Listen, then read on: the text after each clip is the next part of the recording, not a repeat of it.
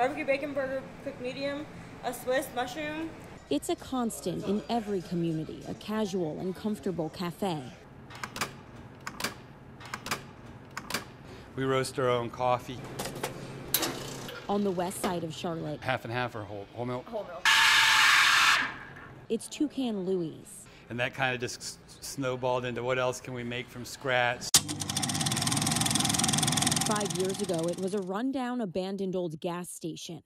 I would bring my friends over here and show them, hey, this is where I'm going to open a restaurant, and they would give you this look like, are you crazy? It's going to be 1938.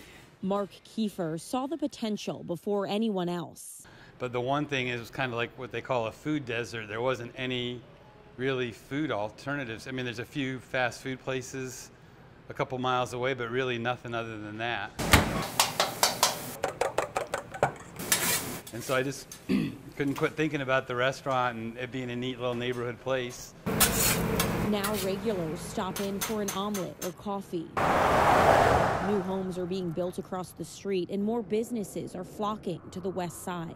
that you can grow with it. And so, you know, maybe you're not starting off making a million dollars a year, but you're also not paying a fortune on rent and things like that. This is for here, right? What didn't make sense to so many others a here, few right? years ago is what's brought Kieffer success.